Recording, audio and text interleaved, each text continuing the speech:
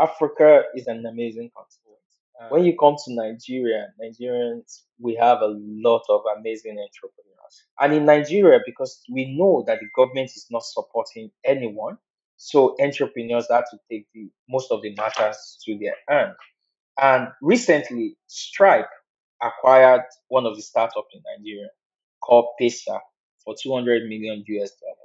And Stripe launched the solution, and everyone in Silicon Valley and everyone in the global market were writing the story. So someone tweeted to the CEO of Stripe, and the CEO of Stripe said, "Yes, we know. Like, uh, yes, this solution has been in Nigeria. One of the reasons they acquire, and also they know that Silicon Valley is no longer the hub of innovation. See how entrepreneurs in Nigeria actually think. We think way, way ahead, and that's why you see a lot of innovation. You'll be shocked when you enter the Nigerian market how many people are having different innovation every day. So mm-hmm. entrepreneurs are innovating in Nigeria and in Africa.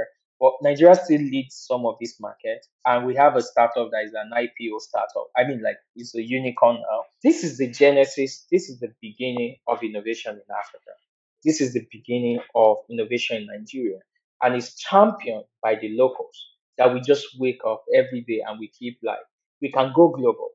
We can go we can solve our own problem as well and our own challenges. And also when you look at the our engineers as well we have developers in facebook google tesla some of these major companies.